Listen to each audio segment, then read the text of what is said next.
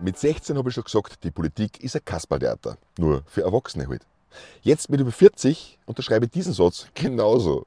Lese doch heute echt in der Kronenzeitung, dass Karl Nehammer das Anliegen der 1,4 Millionen FPÖ-Wähler ernst nimmt, aber dennoch nicht mit der FPÖ zusammenarbeiten will. Das Demokratieverständnis von Herbert Kickl bereitet Karl Nehammer Sorgen. Hm. Ist es nicht Demokratie, dass die Mehrheit entscheidet, wer in der Regierung mitmischt? Oder hab nur ich das falsch gelernt in der Schule? Es ist vollkommen neu, dass es einen Wahlsieger gibt, mit dem offenbar keine der anderen Parteien regieren will. Das haben sie nie gegeben. Ah ja, gleich zum Anfang. Wer dieses Video auf TikTok anschaut, bitte abonniert mich besser auf YouTube unter Schnippers Agatom. Die löschen nämlich nicht gleich jedes Video und jeden Account. Mir persönlich ist sehr egal, welcher Partei der Chef ist, wenn die Leistung passt. Der Steuerzahler, der darf mehr als genug Steuergeld dafür aufwenden, dass die verschiedenen Parteien sich zusammenraufen, um für den Bürger und das Land das Beste rauszuholen.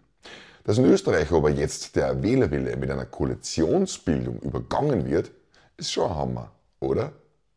In letzter Zeit her ich öfter, schlechter können es die Blauen ja auch nicht machen, oder? Aber kommen wir zum Punkt. Im August 2024 ist Karl Lehmer jedenfalls gefragt worden, warum man ihn und nicht Herbert Kickel wählen soll. Was würden Sie jemandem sagen, warum sollte man Sie wählen und nicht Herbert Kickel?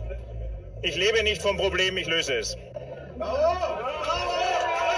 Na, dann schauen wir uns die Erfolgsbilanz von unserem Kanzler Karl Nehammer mal an. Österreich hat eine der höchsten Teuerungsraten EU-weit. Österreich hat eine der höchsten Inflationsraten EU-weit. Die Unter- und Mittelschicht sind immer mehr in die Armut getrieben worden. Viele können sich nicht einmal mehr ein ordentliches Wohnen leisten.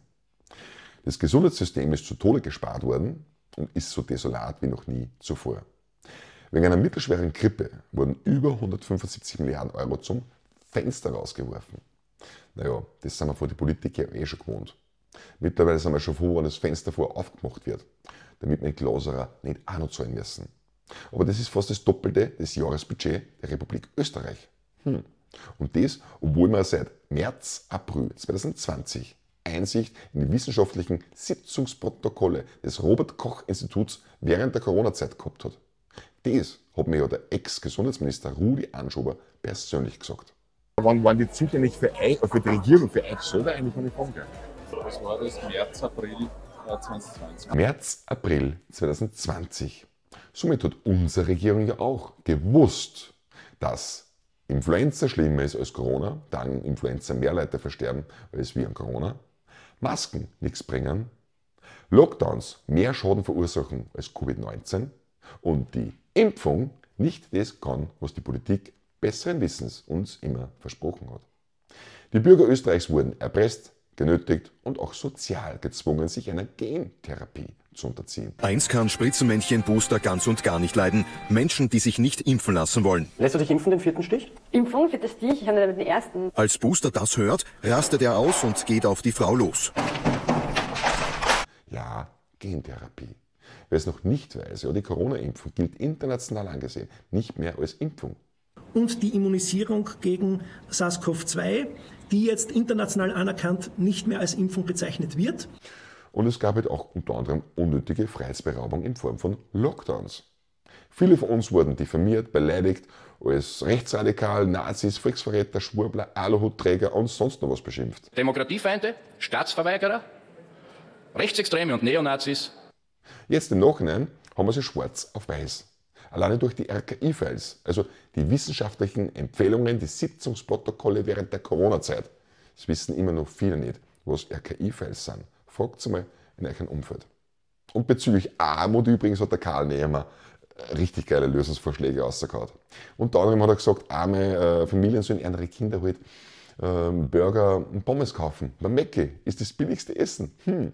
Ja, gehen wir essen beim Mecke. Wirst draufkommen, so billig ist es gar nicht.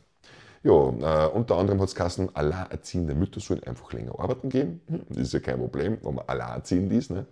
Und zur Not sollen wir halt äh, zu Alkohol und Psychopharmaka greifen. Wenn wir jetzt so weitermachen, gibt es für euch nur zwei Entscheidungen nachher. Alkohol oder Psychopharmaka. Übrigens, Kali, das kostet auch Geld. Naja, das wird aber lieber zum Beispiel für Sky Shield rausgehauen. Ein NATO-Programm, was ich persönlich auch als Neutralitätsbruch sehe. genauso wie Kriegsgutlieferungen durch unser Land in ein Kriegsgebiet.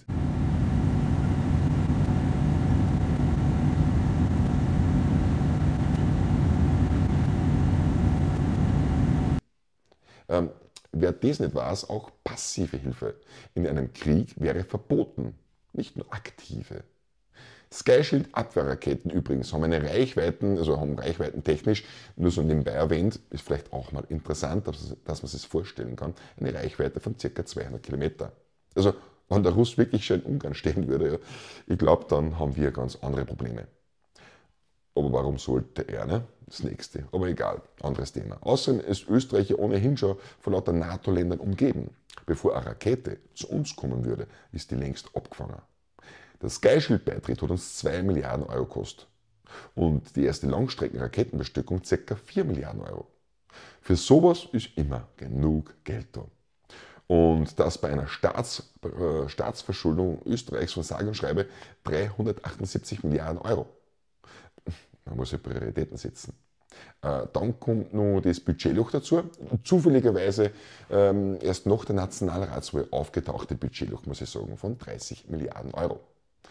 Einen Lichtblick gibt es allerdings. In Österreich kommt die Ahnung bald, der Dosenpfand. Somit haben auch die armutsgefährdeten Menschen in Österreich endlich einen neuen Stützpfeiler im Sozialsystem. Ist ja auch was, oder? Bezüglich Ukraine-Krieg gab es die letzten Jahre jedenfalls nicht wirklich ein Geldproblem. Vom ach so neutralen, friedlichen Österreich gibt es ja auch keinen Aufruf zu Friedensverhandlungen. Laut dem ukrainischen Finanzminister kostet der Krieg täglich 120 Millionen Euro, ja, Euro am Tag.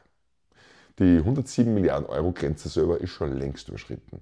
Und der Wiederaufbau wird auf 500 Milliarden Euro geschätzt. Und jetzt ratet's mal, wer das Ganze im Nachhinein alles bezahlen darf. Richtig.